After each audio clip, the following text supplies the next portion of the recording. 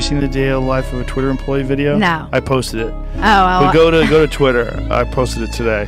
It's uh, Libs of TikTok. This girl who worked at Twitter posted how great it is to work at Twitter. This is a day, you know, it's wild because it's not a job.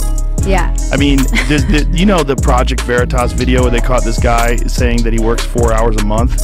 Oh, wow. I don't Or four understand hours why a week or I whatever didn't understand why they needed so many people. They don't. But watch it. Play this. in my life as a Twitter employee. This? So this past week went to SF for the first time at a Twitter office, badged in. Honestly, took a moment to just soak everything in. What a blessing. Also started my morning off with an iced matcha from the perch. Then I had a meeting, so quickly scheduled one of these little pod rooms, which were so cool. They're literally noise canceling. Took my meeting, got ready for lunch. Look how delicious this food looks. Oh my goodness, I was so overwhelmed. Then made my way down to this log cabin area. I don't know what this is, but it was really cool. Played some foosball with my friends to kind of unwind a bit. Um, Unwind. Tough day. also found this really My cool one call. meditation room that I thought Meditation was room. super neat. Um, I didn't do any yoga, but they have this yoga room if you are a yogi. So also thought that was really cool. Um, had a couple more meetings in the afternoon. Had a ton of projects that we needed to knock out. Say hi to my teammates. Um, went to the went to the library to kind of get some more work done. Obviously, had to have our afternoon coffee, so made some espresso, and then before leaving for the day, had some red wine um, that's on tap. Went up to the rooftop and just honestly enjoyed the beautiful weather. think we've failed in a couple of ways, and I, I want to admit that. Failure comes with a big penalty. You're fired. Uh, I Why don't we Yeah.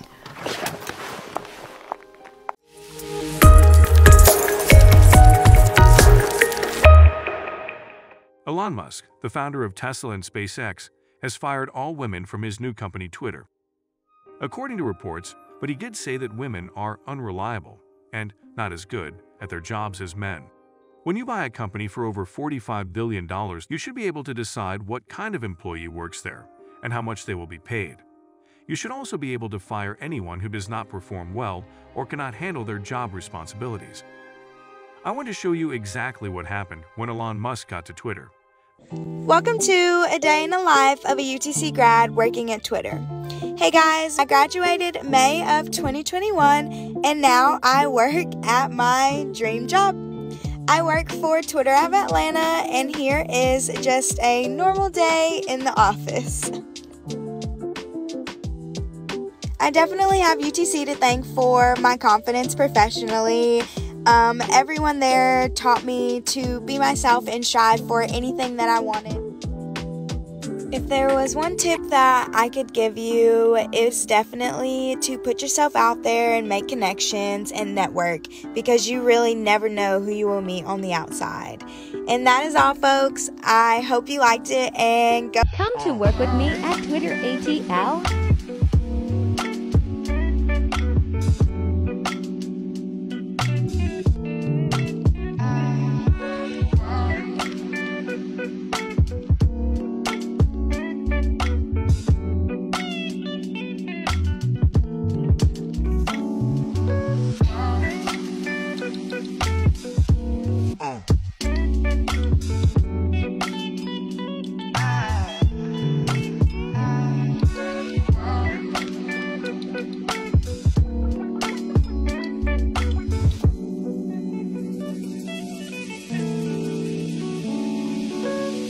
Welcome to the life of a software engineer.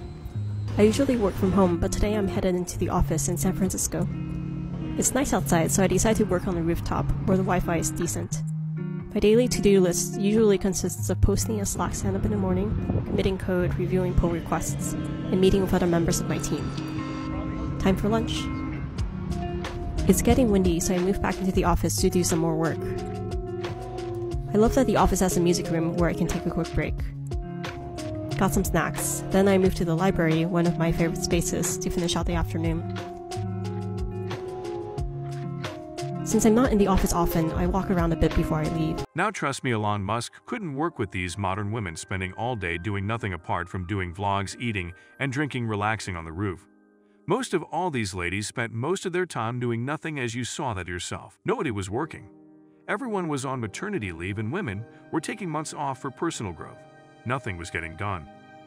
Elon is slowly just kind of putting the screwdriver in there and tightening up the operations. Now you're not going to see employees doing absolutely anything, and one of the first things Elon had to do was get rid of all the employees doing nothing and hire hardworking people. It's just college, just puke into a Silicon Valley company. And this is what popped out well Elon is slowly just kind of putting the screwdriver in there and tightening up the operations. It's as if college was puked into a Silicon Valley corporation, which is what came out. Well, Elon needs to make a profit today, so he has now replaced them with hardworking people.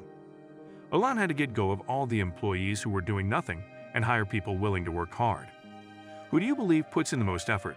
A group of women who spend their time going to Zumba and pull-up classes, talking about how strict they are being with their diets, eating celery, and scheduling play dates for their dogs are not the people you want to be in charge of your firm if you want to appear successful. Now trust me, Elon Musk couldn't work with these modern women spending all day doing nothing apart from doing vlogs, eating and drinking wine as they relax on the roof. Most of all these ladies spent most of their time doing nothing as you saw that yourself. Apparently, it's not only Elon Musk who finds issues working with women. These are other businesswomen talking about how they really don't like employing women. I have a team of people. Everybody who works for me right now are men. I've noticed if I hire someone and they're female, I have to be careful about how I talk to them, even give, giving criticism. And maybe it's me, but I feel like I have to be a little bit nicer, a little mm-hmm. bit more mm-hmm. gentler. Whereas with a dude, I can be like, can you just not do this again? And they're like, yeah, no problem, won't do it again. But if it's female, I'm like, okay, you did like this a little bit wrong. Here's how to do it a little bit better. Overall, you're doing a great job. Everything's fine. Please don't be upset. What's the relationship between money and well being? Once you have enough money to keep the bill collectors from your door, so once you have enough money to stave off misery, which is sort of lower middle class, something like that in our society, maybe a little, little lower than that, extra money does not help you. It does not improve your life. So why bother with it? Well, that's what the women in the law firms think. It's like most of them, by the time they're in their 30s, are married.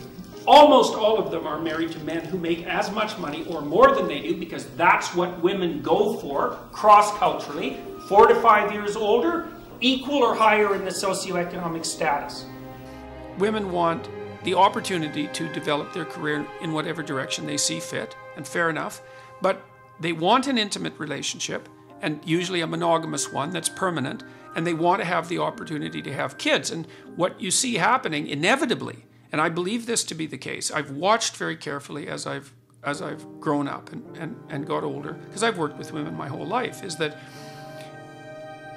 women are less com- are less compelled by their career as they approach their 30s and more compelled by the desire to have a permanent relationship and a family. Biological too, I would argue too. I mean, well, I think it's it's a biological necessity because women have to have children relatively young. That's correct. But it's interesting to watch it phenomenologically, and even the women that I've seen who've had very high power careers, is that as they move into their, especially their early 30s, they start to realize that the career is a pretty one dimensional enterprise, even if it's a good career. Because even good careers are still jobs.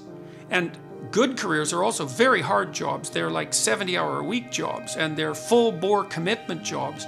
And to figure out how to have a career like that and to have a life to have a family, to have an intimate relationship, to have children, and then to also be able to take care of them. That's a very complex. Um, that's a very complex job to manage. And so, what's strange is, I think, what's strange is that the very things that the radicals are undermining, like the monogamous family, are actually those things that women most want, especially as they approach their yes. 30s. And so this is a catastrophe on both ends of the of the sure. gender distribution. Now the gender pay gap that women always talk about, and the focus they want to put in the work is totally different. Traditionally, women are meant to stay at home, bear children, take care of them. The main reason why Elon Musk firing women is that he has owned international companies and he knows how women act at work and how much effort they put in their work. To give your support, click the thumbs up button. Please leave a comment below if you would like to see more videos like this one. Be sure to give it to the guys who are in the most precarious need of it.